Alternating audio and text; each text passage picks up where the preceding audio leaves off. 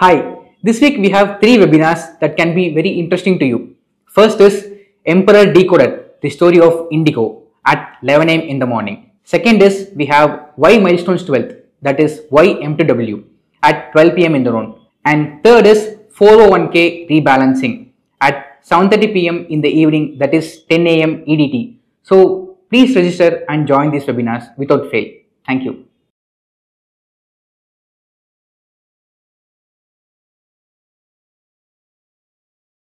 Result season தரும் எச்சரிக்கை மணி. ஒவ்வொரு காலாண்டு முடிச்சதுக்கு அப்புறம் ரிசல்ட் சீசன் ஆரம்பிக்கும். உதாரணத்துக்கு செப்டம்பர் முப்பது இரண்டாம் காலாண்டு first half of the year முடிவடைகிறது. அது முடிஞ்ச உடனே அக்டோபர் ஒன்னுலேருந்து ரிசல்ட் சீசன் ஆரம்பிக்கணும். பட் அக்டோபர் ஒன்று யாரும் ரிசல்ட் கொடுக்க போகிறதில்ல ஒரு ஏழு எட்டு பத்து தேதியிலிருந்து ஆரம்பிப்பாங்க. இதுவரைக்கும் மிக முக்கியமான சில நிறுவனங்கள் தங்களுடைய காலாண்டு ரிசல்ட்ஸை அறிவிச்சிருக்காங்க. இதில் டிசிஎஸ் ரிலையன்ஸ் ஹெச்டிஎஃப்சி லைஃப் முக்கியமானவை. இன்னும் நிறைய கம்பெனிஸ் ரிசல்ட்டை கொடுத்துட்ருக்காங்க. அடுத்த ஒரு வாரத்தில் இந்த எண்ணிக்கை கணிசமாக உயரும். இப்போதானே ஆரம்பிச்சிருக்கு. அதுக்குள்ளே என்ன எச்சரிக்கை மணின்னு நீங்கள் கேட்கலாம். ரிசல்ட்டுக்காக நம்ம வெயிட் பண்ண வேண்டிய அவசியமே இல்லை ஆக்சுவலாக ஏன்னா ஒன்றாந்தேதியே பேசஞ்சர் கார் சேல்ஸ் டேட்டா எல்லாமே வந்துருச்சு. நிறைய கம்பெனிஸ் காலாண்டுக்கான ஒரு ரிப்போர்ட்டை ஒன்று கொடுத்துருக்காங்க. எப்படி வளர்ச்சி இருந்தது என்ன மாதிரி பிஸ்னஸ் நடந்தது இதெல்லாம் அவங்க ஏற்கனவே சொல்லிட்டாங்க.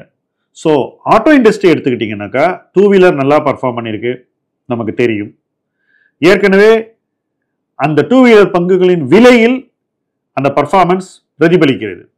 இட்ஸ் ஆல்ரெடி இந்த ப்ரைஸ்னு ஆங்கிலத்தில் சொல்லுவோம்.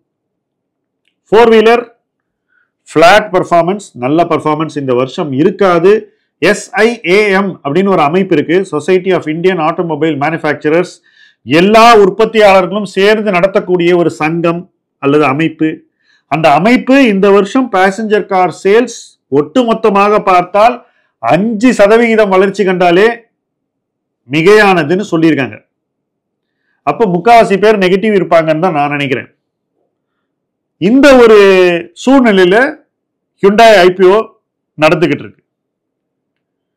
ஹுண்டாய் ஐபிஓக்காக நிறைய ஸ்டாக்ஸ் மதிப்பு ஏறி வேற இருக்கு. இப்போ இது முடிஞ்சதுக்கு அப்புறம் அடுத்த ரெண்டு மூணு மாதங்கள்ல சேல்ஸ் ஸ்லோ ஆச்சுன்னா பேசஞ்சர் வெஹிக்கிளில் பி ரேஷியோ குறைய வேண்டியிருக்கும். ஸோ நம்முடைய எதிர்பார்ப்புகளை இந்த இடத்துல குறைச்சிக்க வேண்டிய தேவை இருக்கு. ஆனால் மார்க்கெட் அந்த மாதிரி எந்த விதமான ஒரு சேஞ்சையும் இது வரைக்கும் காட்டவே இல்லை. ட்ரக்ஸை பொறுத்த வரைக்கும் இந்த ஆண்டு மோசமான ஒரு ஆண்டாக இருக்கும் எல்லாருக்குமே தெரியும். அதான் எம்சிவி ஹெச்சிவி ரொம்ப மோசமாக இருக்கும். எல்லாருக்குமே தெரிஞ்ச ஒரு விஷயம். அடுத்தபடியாக டிராக்டர் டிராக்டருங்கிறது ரொம்ப ஒரு volatile பிஸ்னஸ் ஆனால் சமீப ஆண்டுகளில் டிராக்டருக்கு நம்ம ஃபுல் வேல்யூவேஷன் கொடுத்துருக்கோம். எல்லா டிராக்டர் ஸ்டாக்கும் நல்ல மதிப்பீட்டில் தான் ட்ரேட் ஆகுது. முந்தியெல்லாம் ஒரு டிராக்டர் கம்பெனிக்கு மோசமான பர்ஃபார்மன்ஸ் இருந்ததுனாக்கா பி ரேஷியோ ரொம்பவே குறையும். இன்னைக்கு அந்த மாதிரி ஒரு சூழ்நிலையே இல்லை. மோசமான டைம்லேயே இருபது பிஇக்கு மேலே டிராக்டர் ஸ்டாக்ஸ் இருக்குது ஏன்னா இந்தியாவில் அக்ரிகல்ச்சரை ப்ளே பண்ணுறதுக்கு வேறு வழி இல்லைங்கிறனால எல்லாரும் மிகைப்படுத்தப்பட்ட மதிப்பீட்டில் வாங்க ரெடியாக இருக்காங்க இந்த மாதிரி கம்பெனிஸை ஸோ ஓவரால் ஆட்டோ பார்க்கும்போது புல்லிஷாக இருக்கிறதுக்கு ஒன்றுமே இல்லை. இப்படி இருக்கும்போது ஆட்டோ ஆன்சிலரியில் எக்கச்சக்க பேர் புல்லிஷாக இருந்தாங்க.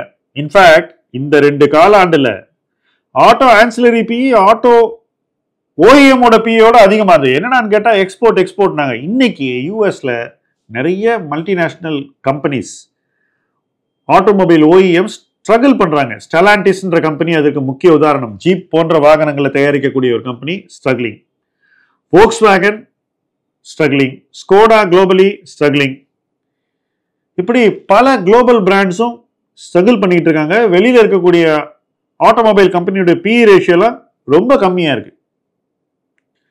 அப்படி இருக்கும்போது அவங்களுக்கு சப்ளை பண்ணுற ஆன்சிலரி கம்பெனிக்கு இவ்வளோ பி ரேஷியோ கொடுக்குமாங்கிறது ஃபண்டமெண்டல் கொஸ்டின் அதை பற்றிலாம் யார் கவலைப்பட்டாங்க? நம்ம பாட்டு கண்ணை மூடிக்கிட்டு வாங்குவோம் அப்படின்னு இந்தியாவில் மியூச்சுவல் ஃபண்ட்ஸும் ரீட்டைல் இன்வெஸ்டரும் எக்கச்சக்கமாக வாங்கி வச்சிருக்காங்க. ஸோ அதுவும் ஒரு ரிஸ்கியான ஸ்பேஸாக தான் எனக்கு தெரியுது. ஐடியை பொறுத்த வரைக்கும் மிட் சிங்கிள் டிஜிட் க்ரோத் பெரிய கம்பெனிஸ் கொடுத்தாலே பெரிய விஷயம். ஆனால் பி ரேஷியோ பாருங்க முப்பதுக்கு மேலே இருக்கு. எனக்கு தெரிஞ்சு மார்க்கெட் ரொம்பவே ஒரு தாராள பிரபுவாக இருக்கு வேல்யூவேஷனில் அள்ளி கொடுத்துட்டு இருக்கு. கம்பெனி பர்ஃபார்மே பண்ண வேண்டாம். ரொம்ப அட்வான்ஸாக இல்லைனாலே ஹை பி ஸோ எக்ஸாமில் ரோல் நம்பர் எழுதினா பாஸ்னு போடுற மாதிரி மார்க்கெட் இன்னைக்கு பி ரேஷியோ அள்ளி கொடுத்துட்ருக்கு. இது வந்து நல்லதில்லை. ஆரோக்கியமானது இல்லைன்றது இந்த ரிசல்ட்லேருந்து தெளிவாக தெரியுது. இன்னொரு விஷயம் ஐடி கம்பெனிக்கு ஃபர்ஸ்ட் ஹாஃப் தான் பெட்டர் ஹாஃப் யூஎஸ் எக்கானமி வந்து செகண்ட் ஹாஃபில் ஸ்லோ டவுன் ஆச்சுனாக்கா இந்த கம்பெனிஸ் எல்லாம் கணிசமாக பாதிக்கப்படும். அப்போ அன்னைக்கு பி ரேஷியோவை அவசர அவசரமாக இறக்க வேண்டிய ஒரு சூழ்நிலை மார்க்கெட்டுக்கு வரலாம். ஆனால் மார்க்கெட் அதை பற்றிலாம் இப்போ கவலைப்படுறதாவே தெரியல. ஸோ ஆட்டோ கவர் பண்ணோம் ஐடி கவர் பண்ணோம்.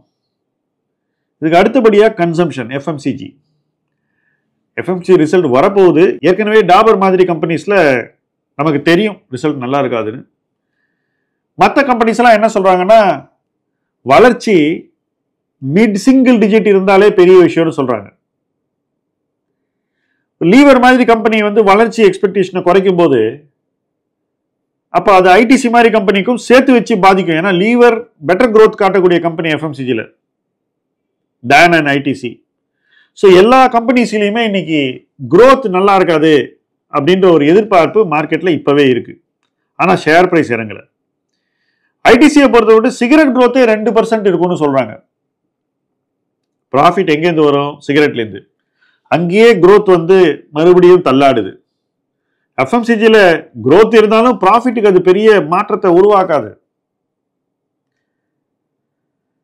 இப்படி ஒவ்வொரு கம்பெனிலையும் இந்த ரிசல்ட் சீசன் ஃபஸ்ட்டு பெரிய எதிர்பார்ப்புகளை ஏற்படுத்தலை. ஏமாற்றத்தை அள்ளி கொடுக்கல. பட் நிறைவை கொடுக்கக்கூடிய ரிசல்ட்ஸே இல்லாத ஒரு ரிசல்ட் சீசனாக இந்த ரிசல்ட் சீசன் அமையப் போகிறது என்பதுதான் இதன் தனித்துவம். இப்படி ஒரு ரிசல்ட் சீசன் கொண்டாடப்பட வேணுமா? இப்படி ஒரு ரிசல்ட் சீசனில் மார்க்கெட் இவ்வளவு சந்தோஷமாகவும் ஓவர் கான்ஃபிடென்ட்டாகவும் இருக்கணுமான்ற கேள்வி இன்வெஸ்டர்ஸ் தான் கேட்கணும். ஏன்னா என்ன பொறுத்த வரைக்கும் பேட் நியூஸ் வந்தால் அதை பனிஷ் பண்ண மார்க்கெட் தயங்கிறது இல்லை குட் நியூஸ் வந்தால் அதை கொண்டாட மார்க்கெட் தயங்கிறது இல்லை ஆனால் இந்த ரெண்டு கண்டா நியூஸ் வரக்கூடிய காலகட்டத்தில் மார்க்கெட் கொண்டாடிக்கிட்டு இருக்கு. ஸோ இதுக்கப்புறம் பேட் நியூஸ் வந்தால் மார்க்கெட் திடீர்னு ஒரு ஜெர்க்கோட ரியாக்ஷன் கொடுத்து பனிஷ் பண்ணுன்றது தான் இந்த ரிசல்ட் சீசனில் முக்கியமான அச்சம். இதை பற்றி நம்ம இன்னும் ஒரு வாரம் பத்து நாள் கழிச்சு பேசும்போது இன்னும் நிறைய கம்பெனி ரிசல்ட் வந்திருக்கும். இதில் அதிகமான கம்பெனிஸ் நம்ம எதிர்பார்ப்பை மிஞ்சி இருக்காது. இதில் இன்னொரு பாயிண்ட்டை நீங்கள் மைண்டில் வச்சுக்கணும். ஏற்கனவே அனலிஸ்ட் எல்லாம் எதிர்பார்ப்புல குறைச்சி தான் வச்சுருக்காங்க. ஆனால் இந்த குறைச்ச மதிப்பீட்டை விட குறைவா பர்ஃபார்மன்ஸ் இருக்கு. அதுதான் இந்த ரிசல்ட் சீசன் இப்படிப்பட்ட ஒரு காலகட்டத்தில் நாம் எப்படி நம்மளுடைய மைண்டை மாற்றிக்கணும் ஃபஸ்ட்டு அதிக பி ரேஷியோ கொடுத்து வாங்குறத தவிர்க்கணும். பேட் நியூஸ் வரும்போது உடனே ஒரு சின்ன டிப்பு வந்தாலே குதிச்சு வாங்குறத உறுதியாக தவிர்க்கணும். இந்தியாவினுடைய bellwether companies Reliance HDFC போன்ற நிறுவனங்கள் நல்லா பண்ணாத போது இண்டெக்ஸ் இன்வெஸ்டிங் பண்ணுறேன்னு கண்மூடித்தனமாக இன்வெஸ்ட் பண்ணுறதை குறைச்சிக்கணும்.